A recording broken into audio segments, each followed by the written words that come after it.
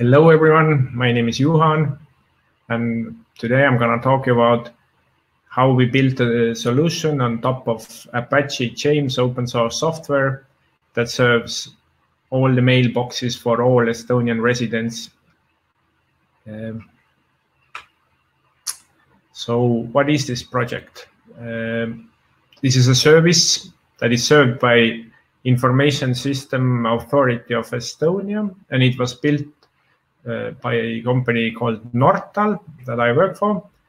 And uh, the idea is it's for communication between state and the resident. And it's mostly state initiated communication. So, like uh, the resident has a personal mailbox, and the state can send letters uh, and notifications there.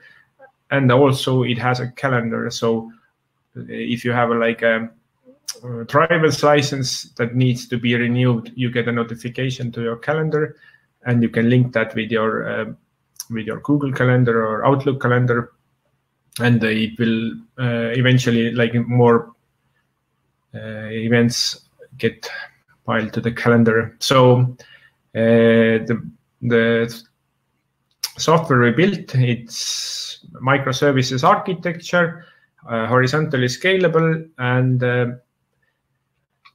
and it's encrypted the content. So me, my name is Juhan Aasaru, and in this project I was a solution architect and a Java developer. Previously, I have carried CTO role in two startup companies. Um, and other than that, I've, I've, been a Java developer most of my life. And uh, regarding this is an Apache conference, so I am member of a project management committee of Apache Fineract, Fineract is a, a micro loan uh, platform for world's 2 billion people who are underbanked or unbanked. Um, and it has, in this conference, it's Fineract has its own track. Uh, but uh, today I'm talking about Apache James and um, for past year when I was building uh, on top of uh, the product with the, with the team, then uh, eventually I was invited to become a committer in that project, and I do orienteering as a hobby. So, uh, little introduction to this Apache James, if you haven't heard of it. So there are more than 200 Apache projects, so might have happened that you haven't heard of it. But uh, so I use boulders or big stones um, to kind of highlight the technologies that uh, can be used to run uh, James, which is an enterprise mail server. You see a lot of technologies underneath, so it's highly customizable. Uh, and uh, it has configurations which are uh, distributed and horizontally scalable. Uh, so um, it has an active community and uh, you can have um, let, let's say if you need an enterprise mail server then you can choose like if you want to keep the email on on um, disk then it's called maildir or you want to keep it in a relational database and access that with java persistence api and uh, you have also option to keep the email in uh, S3 object storage that is has an index in Apache Cassandra. Uh, and if you have a user database, then uh, some companies have it in Active Directory, and you can use LDAP to link with existing directory, or you can have your own in in a, a uh, database. So of course there is Elasticsearch for search Apache Tika is, is a project uh, that builds an index out of uh, attachments. And there are two uh, queuing uh, systems, Apache ActiveMQ or RabbitMQ. So these are the technologies you can kind of uh, build James out of, but it's not like mix and match out of the box. There are some uh, predefined configurations. So we were using the one uh, that supports distributed system and horizontal horizontal scalability. I'm gonna talk about our our setup a bit later. But let's first welcome to Estonia. So I'm Estonian, and right now uh, I'm in Estonia. so where is it? It's a country in Northern Europe. It's a has a population of 1.3 million, and maybe you've heard about Estonia regarding maybe digital society. So we have a lot of uh, public services online, and uh, they are connected together with a secure system called X-Road. We also have rather many uh, startups, maybe uh, most startups per per person. Uh, so maybe you have driven with Bolt, uh, transferred money with Wise, or or used Skype. Uh, and we have an e-residency program. So if you are not resident of Estonia physically, you can can become an e-resident. So the state gives out electronic identity, and uh, there are already 83,000 e-residents, and these uh, residents can run their EU company from anywhere in the world, and there are already like more than 17,000 companies created. And uh, a cool fact, we have like internet voting for many years now. And uh, like you can see almost half of the votes were given uh, using internet. So next, how, how we got to the point that we we now have a system like national mailbox. It hasn't gone live yet, but it's about to happen this month, end of this month. So Uh, almost there.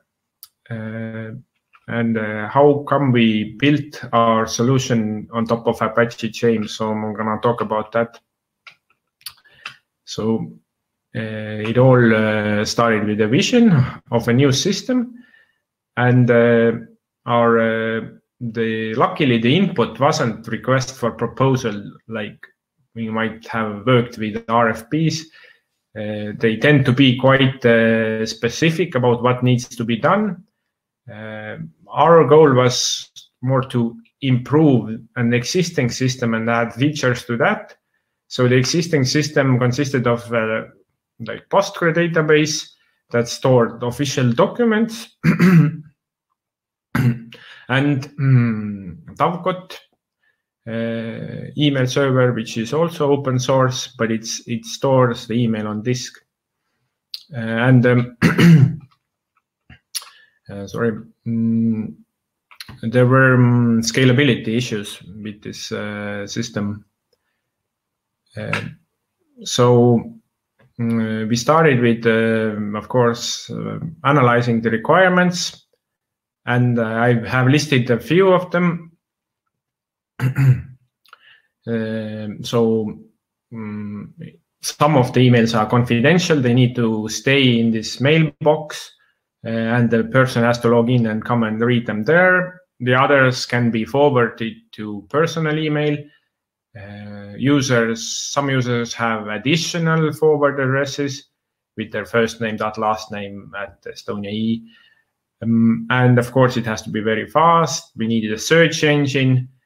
Um, and uh, we needed a kind of state calendar that I mentioned earlier that you uh, you have a view of all of the events uh, that are related to the state. So some document expiring, you have an exam with the uh, driver's license bureau and so on.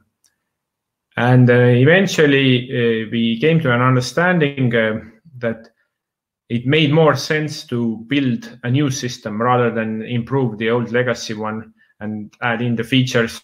And there were many reasons. Um, and the biggest one was that it was two separate systems which were difficult to combine into one. And um, Apache James fit very well.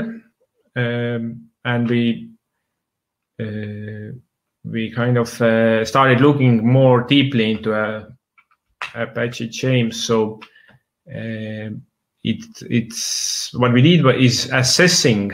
We were assessing this project.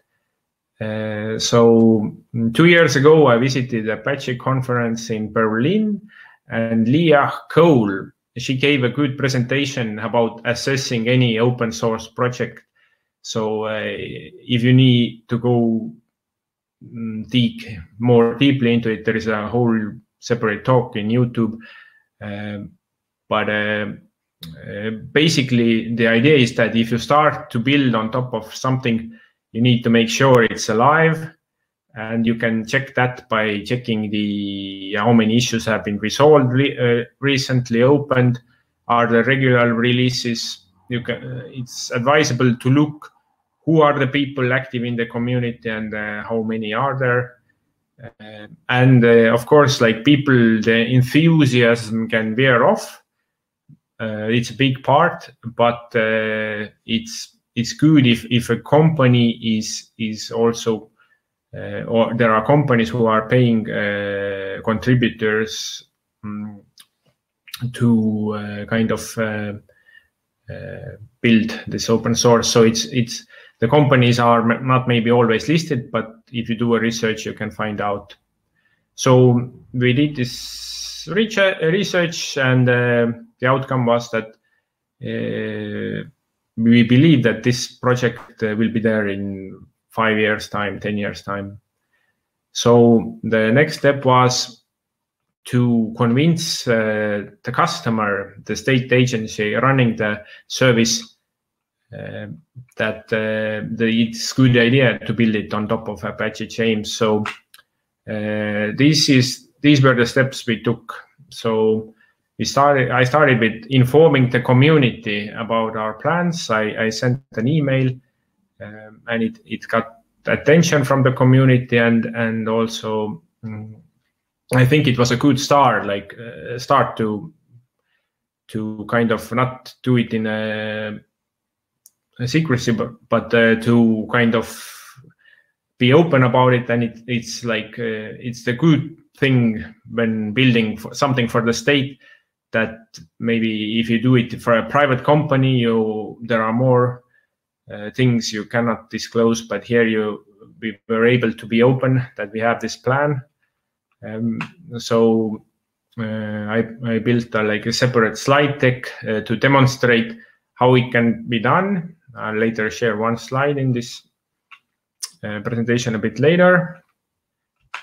And uh, then uh, the part of demonstrating was also uh, informing the decision makers like how how it's how the the work looks like when uh, building on top of open source and i think it's it's very important to be open about uh, that uh, mm, how how how it's to look like in the in before it's actually happening and of course, uh, we try to be honest uh, and we listed uh, some of the things that we thought were disadvantages. And the biggest, our biggest concern was that uh, nobody in um, in Estonian state uh, had um, experience with Apache Cassandra. So using a distributed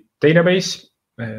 so this, like we said from the beginning, this is uh, something that uh, your people who are like maintaining the service running it they need to become familiar or they need to be trained and uh, and luck, um, luckily there were people who were ready to look into this and and uh, become kind of uh, experts on the field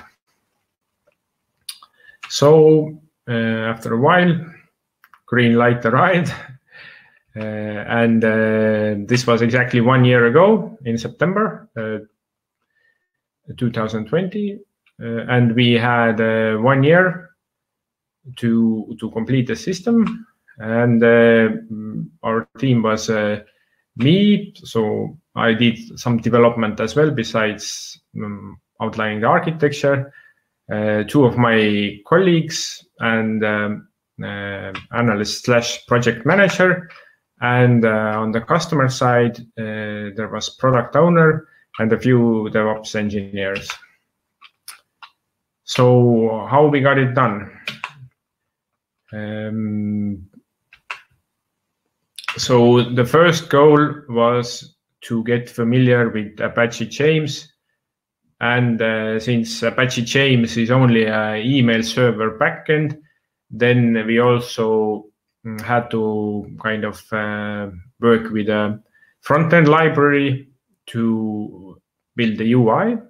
So, and uh, yeah, one of the other uh, disadvantages of uh, open source products is uh, often that um, there is not so much documentation uh, as maybe some other systems.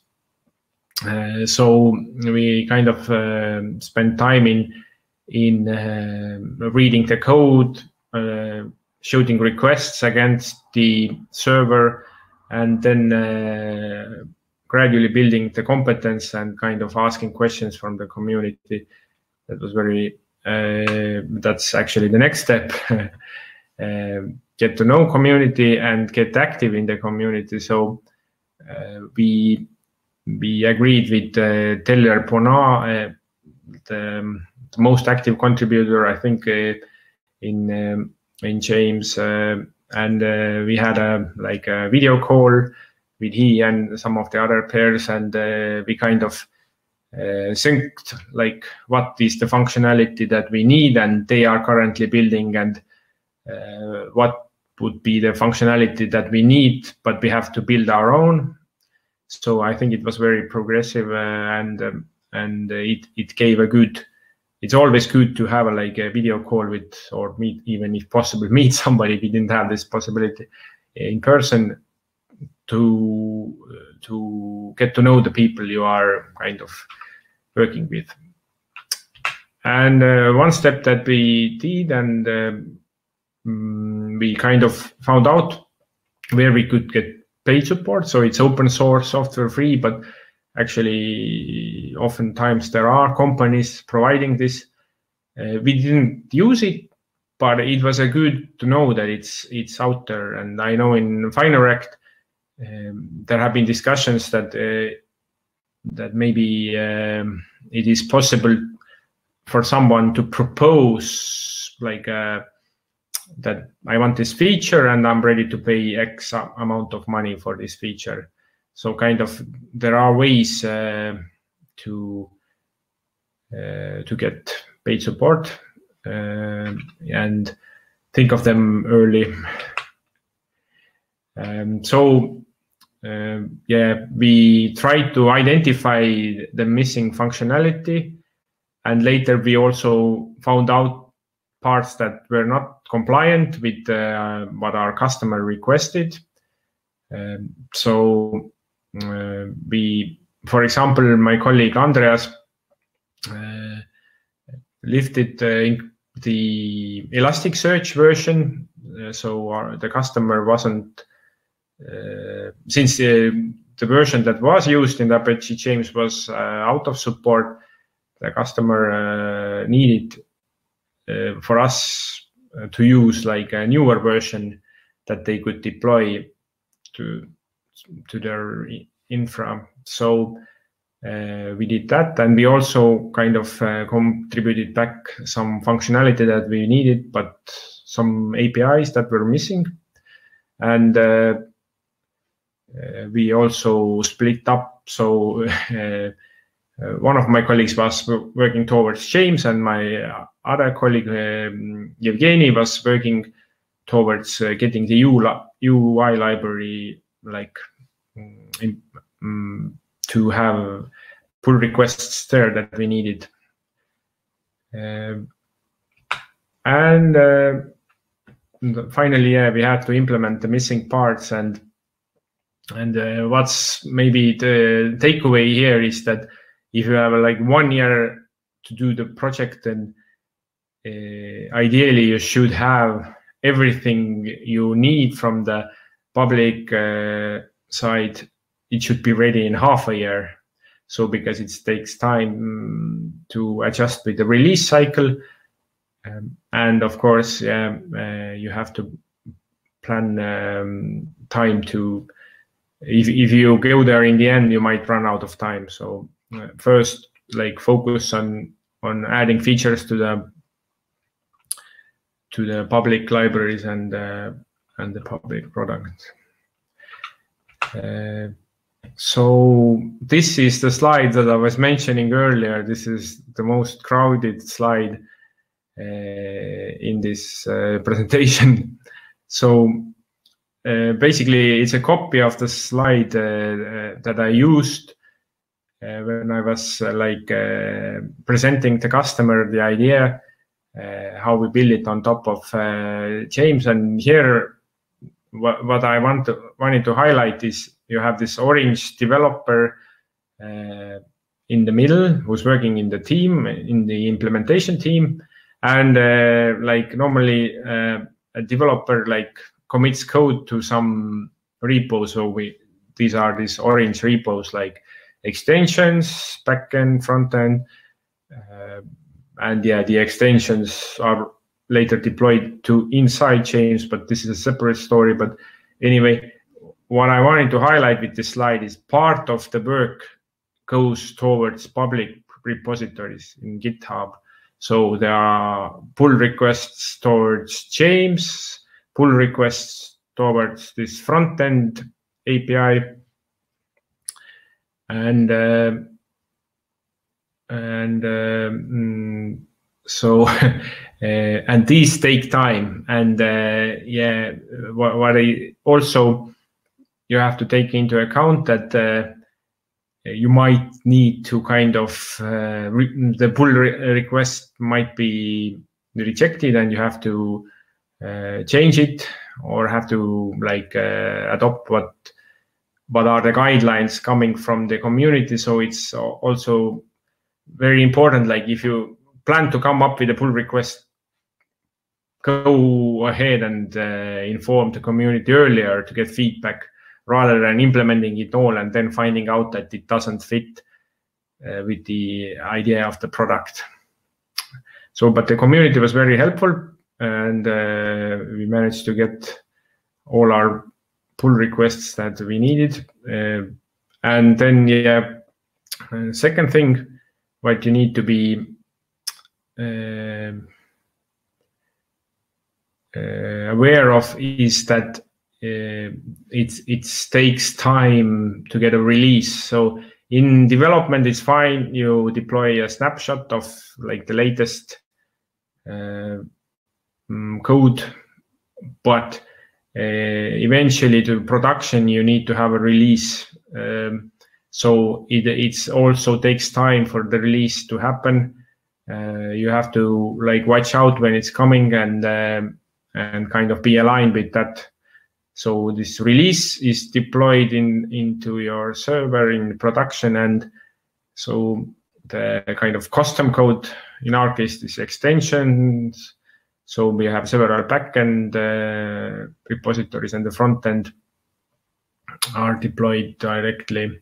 And then there is of course this JMap client library. I think I've I didn't tell you the idea about what's what's JMap so usually if you have a, like a, um, a, your email client in your computer talking to the email server, then this client talks uh, IMAP protocol with the server.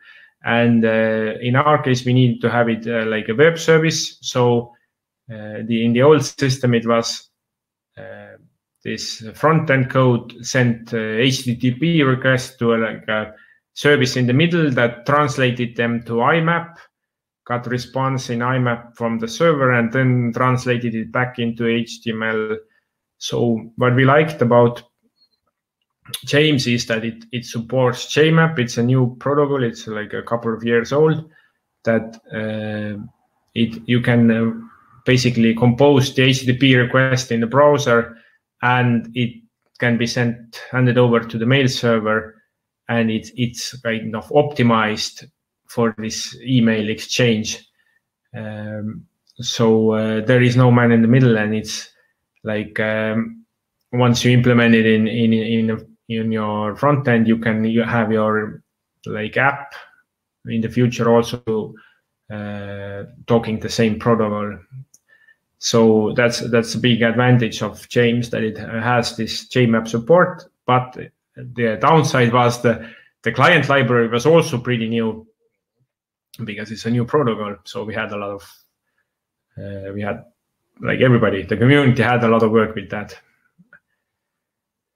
Okay, and um, I told you earlier I'm gonna share you how how we built our setup of Apache James looked like.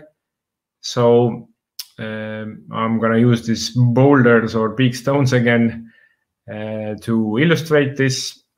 Um, and uh, one boulder is in, inside James, so so this is the custom extensions that James allowed us to write.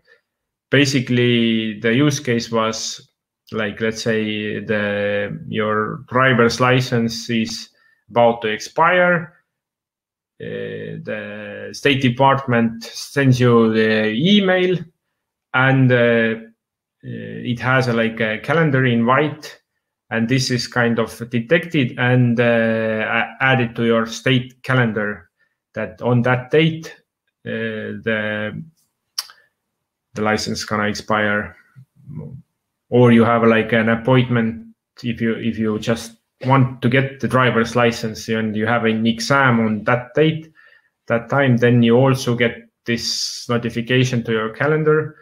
Um, uh, just you won't wouldn't miss it. And so uh, our setup of James included, uh, as we needed to be distributed, we have a distributed database Apache Cassandra uh, that kind of keeps like the index of emails, but the actual contents are stored in this S3 object storage. We have Elasticsearch that uh, gives us uh, fast searches, and all email servers need to kind of have uh, something like a queue because it, they need to accept email very fast, and uh, then they just put it in queue and process it um, like uh, on their own speed. And uh, in our case, the user directory stayed outside of the project. Uh, so we didn't put it in, in James, but James was flexible enough. So uh, it kind of uh, basically, when the outside system says that you must have, this user must have an account, it's created on the fly and nobody understands it wasn't there just like one second ago. And yeah, we, our own kind of uh, microservices uh, were added on on top of that front end, some web services for X-Road, data exchange, and of course this custom calendar that is not part of James, but it has is is deeply linked with that. So uh, so we did a project that uh, uh, kind of improved James a little besides uh, building on top of that. Uh, but uh, I have one more news like Estonia has a CTO. I don't know how many countries have a CTO, but Estonia has one. And Kristo Vaher has said that um, he's he's pushing this idea that if something is done using taxpayers' money, then the IP of uh, outcome should be free for anyone to use. Like uh, and uh, like any citizen or company must have the freedom to build a business out of that work. So I've included a link. There are already this initiative has some some around 10 projects already there. So our boulders will be also eventually there, but it's gonna take time because we first have to go live end of this month, and then it, it's gonna take uh, like uh, time to review and you know, just uh, like a disclaimer when like James is is fully fledged open source product with a community. So what happens with with our orange boulders is that this is this is not like open source; it's published source. So it's not a full fledged product, but but you can you can still use that work uh, to build stuff uh, if you need to build similar stuff. So I think it's it's it's a good idea that the work we did is is reusable by somebody else. So if this uh, uh, presentation ends up in uh, YouTube, I will add a like and and the code is there. I will add the direct link under the video. So thank you very much. Do you have any questions?